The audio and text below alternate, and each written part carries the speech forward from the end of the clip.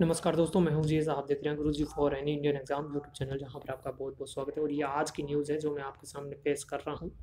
तो इसके अंदर देखिए, गहलोत जी ने जो है घोषणा कर दी है दस परसेंट सवर्ण आरक्षण लागू करने की और किसानों को पेंशन व गरीबों को एक रुपये किलो गेहूँ देने की जो है इन्होंने योजना शुरू कर दी है।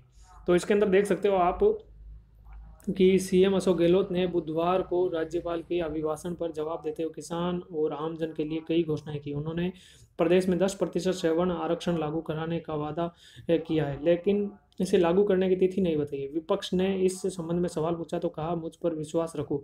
गहलोत ने किसानों को भी खुश किया और कहा कि लघु एवं सीमांत वृद्ध किसानों के लिए वृद्धावस्था पेंशन योजना लागू की जाएगी। गहलोत ने राष्ट्रीय खाद्य सुरक्षा सूची में शामिल बीपीएल एवं स्टेट बीपीएल लाभार्थियों एवं अंत्योदय परिवारों को एक रुपये प्रति किलोग्राम की दर से गेहूँ देने की घोषणा की है। इस फैसले से प्रदेश के एक पॉइंट सैंतालीस करोड़ गरीब लोगों को फ़ायदा मिलेगा। चार लाख बीघा कृषि भूमि गिरवी से मुक्त होगी। ये छोड़िए, दुग्ध उत्पादों को दो रुपये प्रति लीटर बोनस, पाँच हज़ार रुपये सरस जो है बूथ खुलेंगे।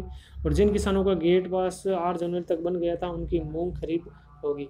तो यहाँ से देख सकते हो अपने जो दस परसेंट आरक्षण की जो बात है, उन्होंने कह दिया है कि मुझे, मेरे ऊपर विश्वास रखो और ये जो है दस परसेंट आरक्षण भी ये लागू करेंगे।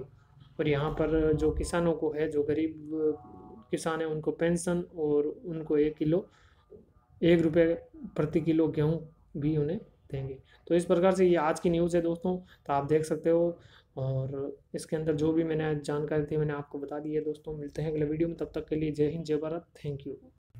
और दोस्तों, एक सवाल और है कि क्या फ़र्स्ट ग्रेड या फिर आगे आने वाली भर्तियों के अंदर आरक्षण मिलेगा? तो बिल्कुल दोस्तों, जिस प्रकार गुजरात के अंदर, नई दिल्ली के अंदर या फिर आप देख सकते हो, पूरे भारत के अंदर, केंद्र सरकार अगर लागू कर सकती है तो आपके फ़र्स्ट ग्रेड हो, चाहे राजस्थान का कोई भी एग्ज़ाम हो, सब में ये जो दस परसेंट आरक्षण है, ये लागू होगा।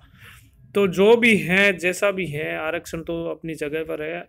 आप जैसे तैयारी करोगे तो ही आपका सिलेक्शन होगा, बाकी तो कोई सिलेक्शन का कुछ है नहीं और आपको तैयारी तो रात दिन करनी ही पड़ेगी, बाकी उसी से आपका सिलेक्शन होगा। तो दोस्तों, यही थी मेरी तरफ़ से आज की न्यूज़ और अगर ये आपको अच्छी लगी है तो इसको ज़्यादा से ज़्यादा शेयर करें। Thank you